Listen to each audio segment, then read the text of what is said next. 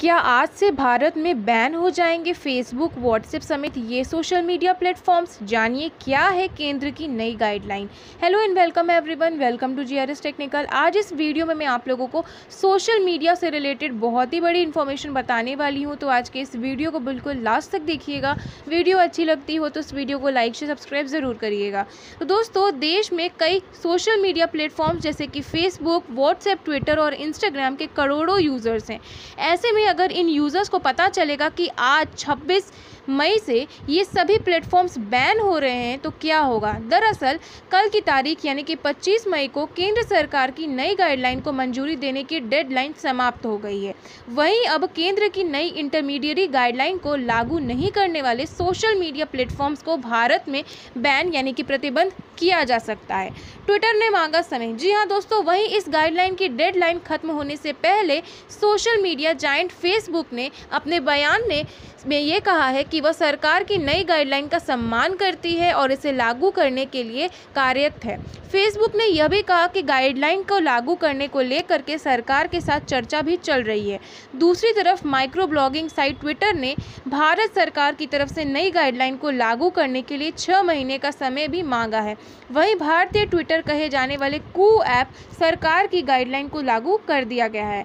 हो सकती है कार्रवाई। आप लोगों को मैं बता दूँ कि इस साल फरवरी में केंद्र सरकार ने सोशल मीडिया प्लेटफॉर्म के लिए दिशा निर्देश जारी किए थे। ऐसा खबर आ रहा था कि 8 फरवरी से व्हाट्सएप बैन हो जाएगा, लेकिन उस समय बैन नहीं हो पाया था। केंद्र ने इस गाइडलाइन को लागू करने के लिए तीन महीने का समय भी दिया था, लेकिन कू ऐप के अलावा दूसरे प्लेटफॉर्म्स ने इसे लागू नहीं किया है। ऐसे में नई गाइडलाइन को लागू नहीं करने वाले सोशल मीडिया प्लेटफॉर्म्स के खिलाफ कड़ी से कड़ी कार्रवाई की जा सकती है। अब क्या है नई गाइडलाइन, आइए जानते हैं। तो केंद्र सरकार द्वारा जारी किए गए नई गाइडलाइन के मुताबिक सोशल मीडिया प्लेटफॉर्म को भारत में nodal officer resident grievance officer appoint करना होगा, जो भारत में होगा। यह ऑफिसर को पंद्रह दिनों के अंदर ओटीटी कंटेंट के खिलाफ मिलने वाली शिकायतों का निपटारा करना होगा। इसके अलावा नई गाइडलाइन के तहत सोशल मीडिया प्लेटफॉर्म को एक मंथली रिपोर्ट जारी करनी होगी, जिसमें शिकायतों और उनके निपटारों की जानकारी देनी होगी। यही नहीं, किन पोस्ट और किन कंटेंट को हटाया गया है, इसकी क्या वजह थी, ये सारी चीज़ों को भी उन्हें क्लियरली बताना होगा। सभी सोशल मीडिया प्लेटफॉर्म के पास इंडिया का फ़िज़िकल एड्रेस होना चाहिए, जो कंपनी के मोबाइल ऐप और वेबसाइट पर दर्ज होना चाहिए।